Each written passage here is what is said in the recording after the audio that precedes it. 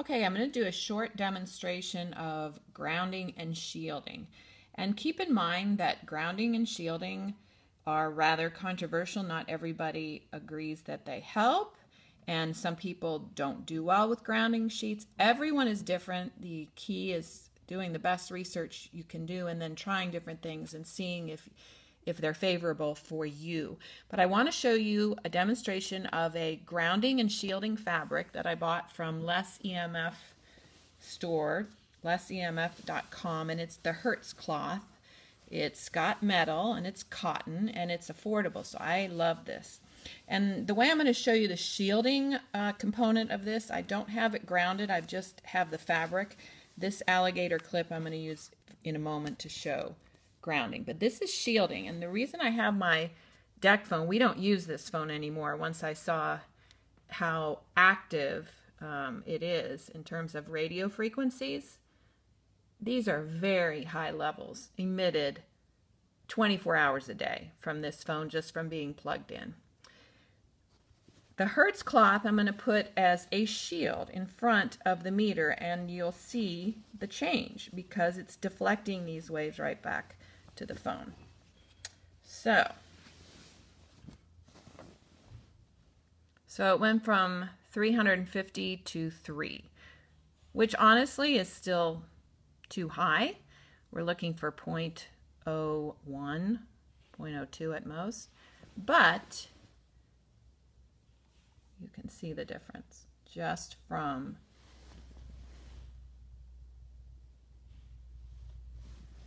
Okay, so I'm going to unplug the DECT phone. I don't need that around me any longer than I should.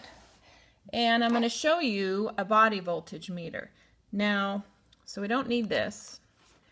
This also doesn't tell the whole story because it's not really telling you about your electrical environment, the wiring in your home and so forth.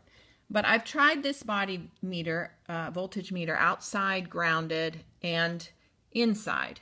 So I found them to be very similar, so I feel comfortable showing you this with it plugged into an outlet and grounded that way.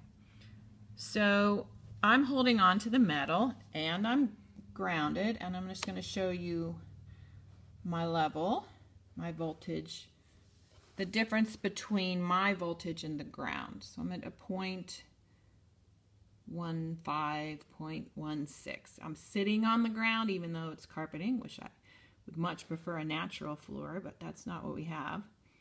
0.14. Now, I'm going to, I've plugged in, I've got an alligator clip attached to the Hertz cloth, and I'm just going to put it next to my skin. I've got a whole bunch of this fabric because I'm going to make a few things with it, but um, so now I'm going to hold next to my, I'm just holding on to it. I have it on my leg.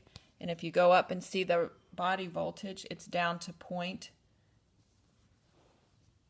point zero zero two. Now I'm going to take that away and it goes right up. Put it back and it goes down as I hold it and keep it. So there you have it.